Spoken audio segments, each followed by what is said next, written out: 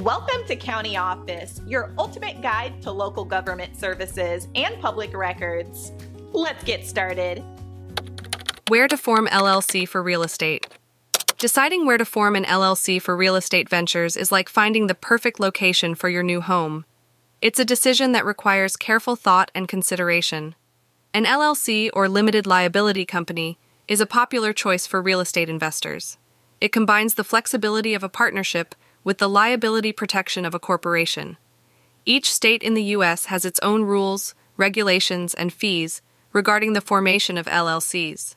Some states are known for being particularly business friendly. They offer benefits like lower filing fees or fewer reporting requirements. Others may have higher taxes or more complex regulations that could affect your business. One key factor to consider is whether you plan to buy and manage properties in your home state or across different states. If you operate solely within one state, forming an LLC there might be the simplest option. But if you're planning to spread across state lines, you might look into states with favorable business climates. Another consideration is the state's laws concerning real estate and asset protection. Some states offer stronger protections against personal liability for LLC owners, which can be a significant advantage.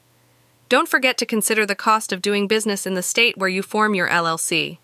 This includes initial formation fees, annual report fees, and state taxes.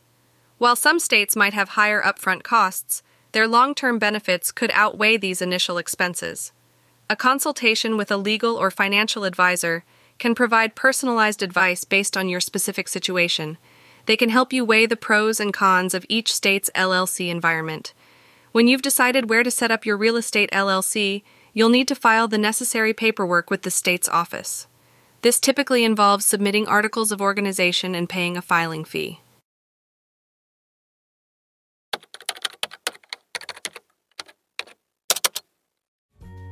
To learn more, check out these links, which you can click in the description below.